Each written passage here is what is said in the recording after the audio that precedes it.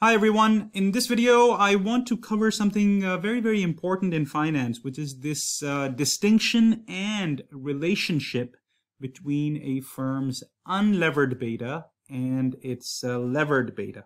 So at some point in your study of corporate finance, you will come across an equation which looks uh, like this, where it says that a levered beta equals 1 plus b over s into a firm's unlevered beta. So beta u stands for unlevered beta, L stands for levered, and b over s here stands for the firm's debt to equity ratio uh, in market value terms.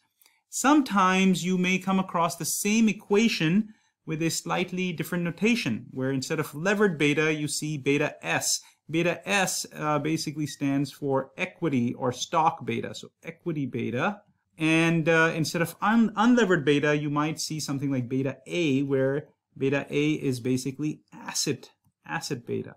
Uh, the first thing that I want to tell you is that uh, unlevered beta and asset beta essentially mean the same thing. They're just two different ways of saying the exact same thing. And a firm's equity beta is also called its uh, levered beta. So again, they mean the exact same thing.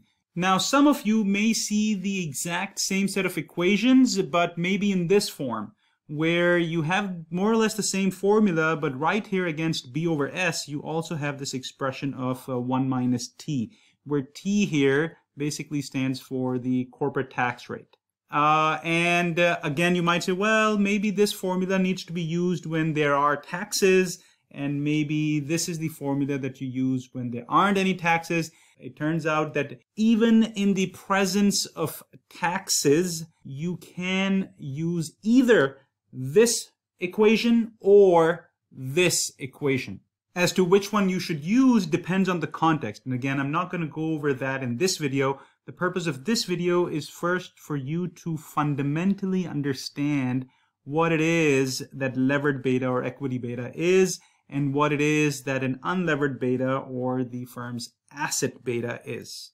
And so for that reason, we're going to start out very simple. We're going to say, let's assume a world in which there is no debt and also a world in which there are no corporate taxes. So in such a world, imagine that there is a firm which has a bunch of assets. So what I'm going to do is draw a very, very simple uh, sort of a balance sheet where we know that on the left, the firm has a bunch of assets.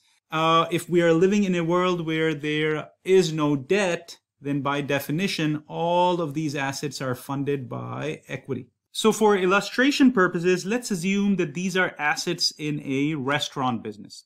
So imagine that there were a bunch of uh, people who put together all the equity and they said, okay, let's create a restaurant business. We're going to hire a manager and this manager is going to be overlooking uh, this restaurant business. We have provided the equity, and so there are tables and uh, chairs and all the raw material that the tomatoes and the potatoes and all of those that are being used to produce the dishes, which are then being sold to customers, you know, all that.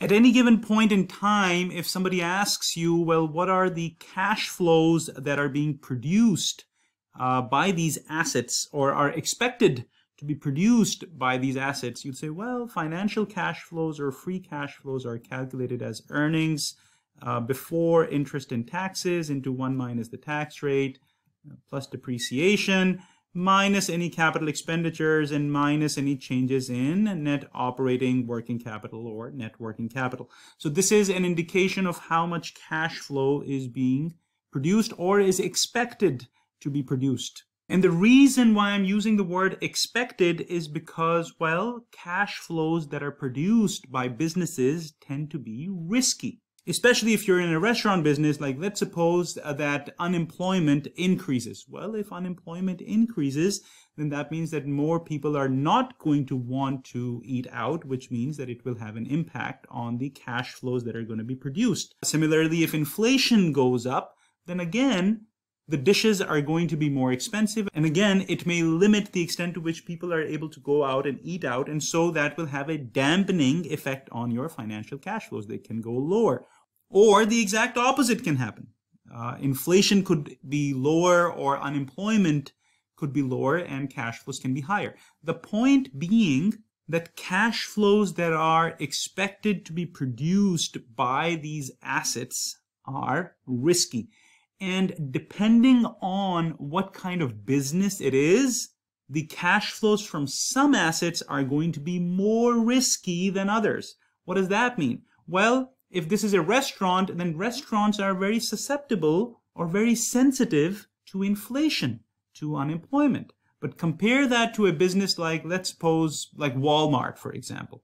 Well, Walmart would have very different types of assets. And the thing is that even if unemployment goes up, even if inflation goes up, people still need to buy their very basic necessities. And so Walmart's cash flows might go down but not by as much. And conversely also, if uh, inflation is lower or unemployment is lower, people may actually say, well, you know what, I get my basic stuff from Walmart, but now I'm richer or things are less expensive. I'm actually going to go to Whole Foods and buy a lot of organic stuff. So the cash flows might not increase that much as well. My point being, that depending on the nature of the business, some businesses will have cash flows that are more sensitive to macroeconomic shocks like inflation, unemployment, interest rates. And so that is what we mean by a firm's asset beta. Asset beta or the firm's unlevered beta is simply a representation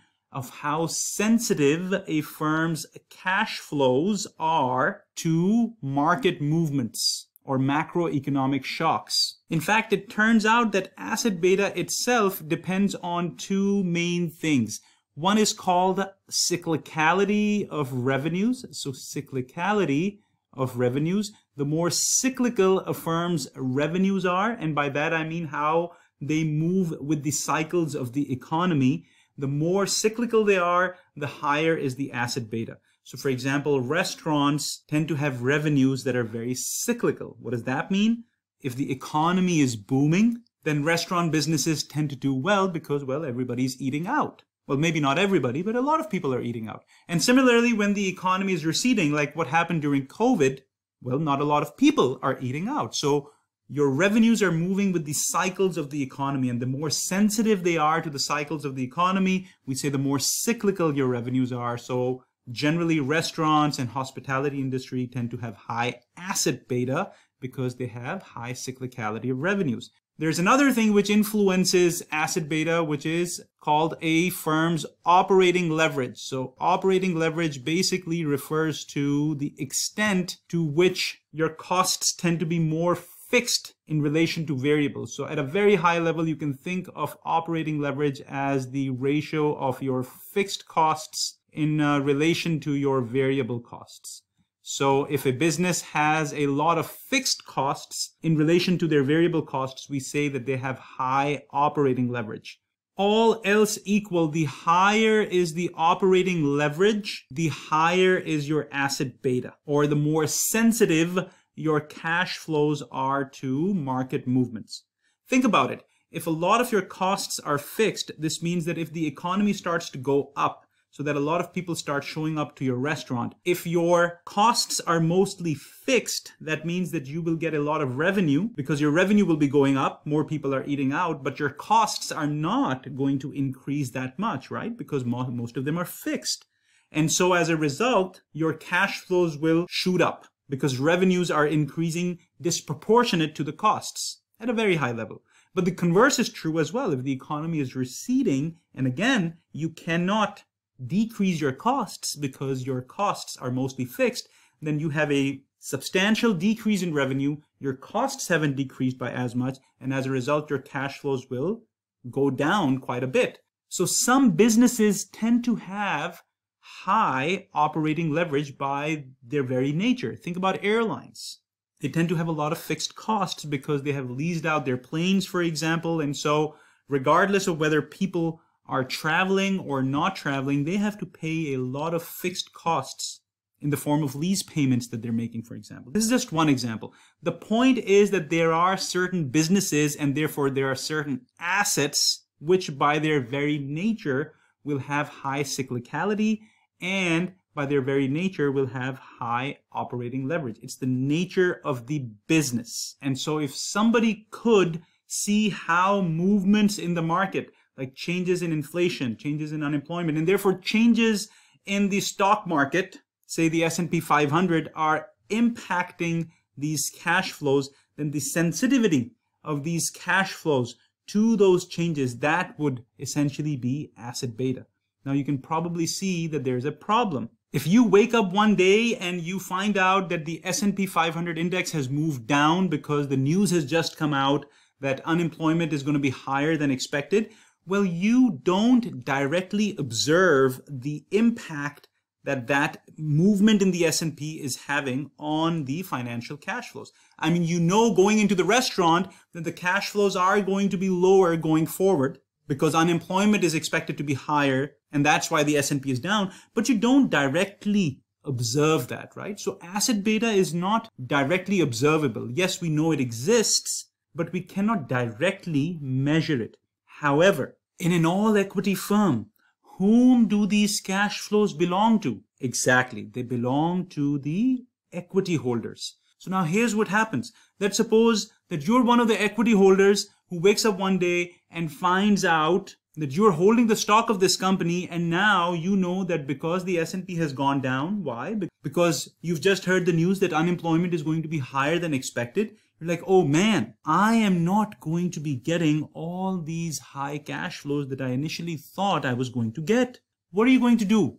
You're likely going to want to sell the stock, right? Because the now the worth of the stock that you're holding is now less. And so what's going to happen is that if I plot the X and the Y axis so that on the horizontal axis, I'm measuring movements in the S&P 500, which is reflective of what is happening in the market. So it's capturing the effects of all the macroeconomic shocks like unemployment, inflation, all of that. And over here, I'm plotting the returns that you are going to make on your equity. Then basically on the day that the S&P moves down, right? So on the day that the S&P has uh, some sort of like a negative uh, return here, right? Because there was some, so let's suppose it's negative 2% because, uh, because of the unemployment news, then the returns on your equity on that day is also going to go down, maybe over here. So let's suppose maybe it moves down by negative 1. Now, how much it is going to move down by is going to be influenced by what? By the underlying asset beta. In other words, it is going to be influenced by what equity holders are expecting the impact to be on the underlying cash flows if the business has a very high asset beta, then the revision downwards in financial cash flows is going to be much larger and uh, maybe this impact will be as much as negative 3%. My point being, and this is the key, that all that asset beta, all that risk in the cash flows of the assets is ultimately being borne by the equity holders and the equity holders vis-a-vis their trading activity will reflect that in the stock returns. So the converse will be true as well. If the S&P goes up, because let's suppose the inflation is expected to be lower than what people thought, well, then more people will be eating out and you as an equity holder will benefit because the worth of your stock is going to go up and as a result, the returns on your equity are going to go up. And so if people started plotting the relationship between equity returns and stock returns, this relationship, the slope of this line is basically called equity beta. And some of you may have seen this also. Equity beta is basically measuring how sensitive your stock returns are to market movements or market returns. So the symbol that we use for that is equity beta or beta S. The main point here is this. If a firm is funded entirely with equity, there is no debt, then all the risk of the cash flows that is embedded in the assets vis-a-vis the asset beta is being borne by the equity holders. And so in an all equity firm, levered beta or equity beta is going to be the same as unlevered beta. In other words, in an all equity firm, equity beta and asset beta are the same. Please understand, this is very, very important we're not saying they're the same in the sense that they're the same thing. We're not saying that. They're two very different things. Asset beta is how sensitive the cash flows of the assets are to market movements.